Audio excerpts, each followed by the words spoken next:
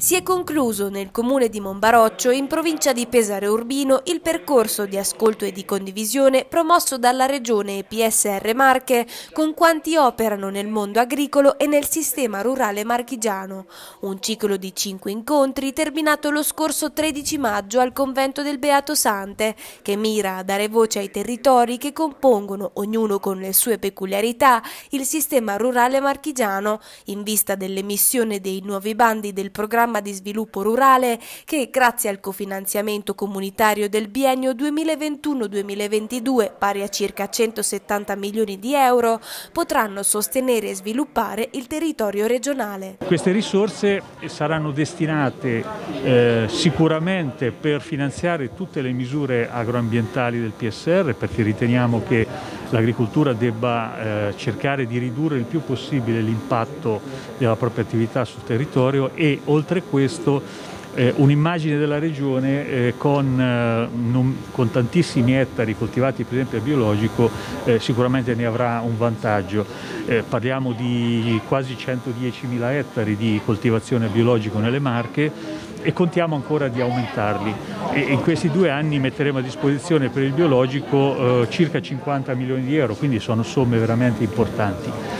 Oltre a queste misure diciamo così, a tutela del territorio e anche a tutela della montagna perché le indennità compensative per le aree montane ci servono per mantenere gli agricoltori nelle zone svantaggiate montane e il resto delle risorse, dicevo, il grosso lo metteremo a, a, a sostegno della competitività delle imprese, sia agricole che agroindustriali,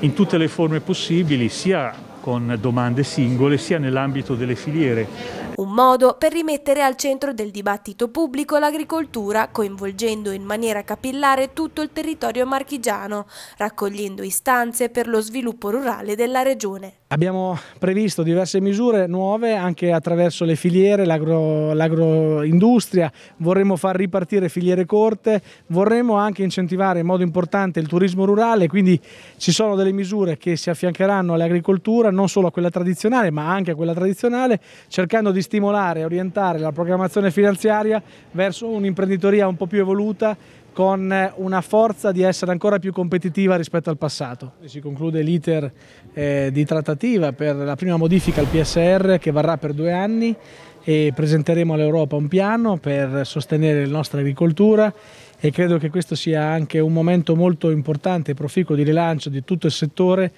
eh, per stare a fianco agli agricoltori che hanno voglia di investire, hanno voglia di rilanciare e eh, io tengo molto soprattutto al ricambio generazionale, quindi a coloro che vogliono eh, intraprendere questa attività imprenditoriale, eh, la Regione metterà al centro le loro esigenze e anche le loro aspettative nelle modalità, nella burocrazia, cercando di semplificare anche un po' le cose. Un ringraziamento alla Regione Marche per aver scelto il Biazzo Sante, Monbaroccio, quale comune rurale per di più sotto i 3.000 abitanti in quello che è il piano di sviluppo rurale regionale. Finalmente si torna nei piccoli comuni, nei piccoli centri che hanno una prospettiva importante, quella di un rilancio, un rilancio che viene dato da queste iniziative che vanno nella valorizzazione del territorio e del loro tessuto sociale ed economico.